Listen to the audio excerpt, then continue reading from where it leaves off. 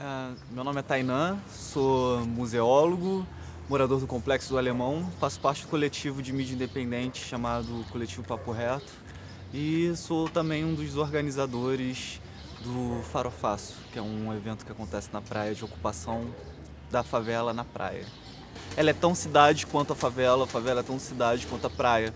E qualquer meio, qualquer mecanismo, política pública que seja de alguma forma é, fomente a exclusão, a gente vai estar disputando aquele espaço ali de alguma forma.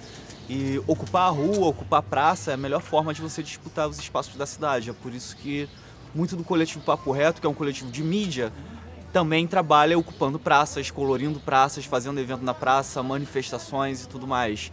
E nesse momento em que as, existe uma política em que toda a Zona Norte, até parte da Zona Oeste também, Baixada, está é, tá sendo vista de uma maneira bastante criminalizadora pelo Estado, né, com essas políticas, todos os ônibus vão ser revistados. Uma pessoa que pega dois ônibus num dia de sol muito quente, sabe, ônibus lotados às vezes, para ir curtir um dia de lazer diante de tudo que a gente já está enfrentando dentro da, como moradores de favela, isso por si só, para mim, já demonstra muita.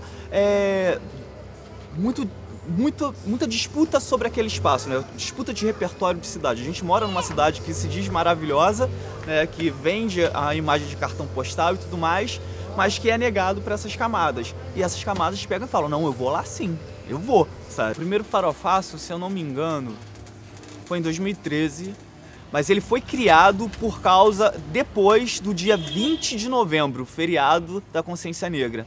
Nesse feriado, a, a, em 2013, teve também uma série de arrastões ali na praia e tiveram alguns comentários que diziam o seguinte: é uma pena esse pessoal fazer isso no dia que foi feito para eles.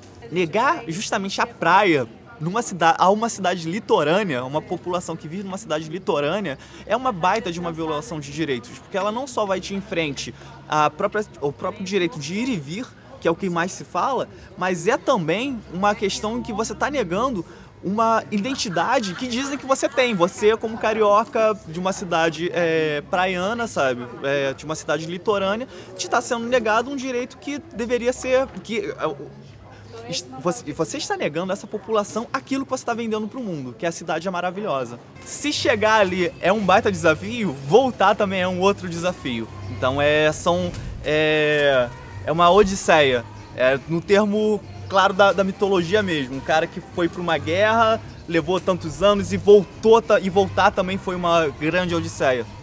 É isso que é ocupar o espaço pra, da praia pra gente. É não só chegar conseguir se manter e voltar para casa em segurança.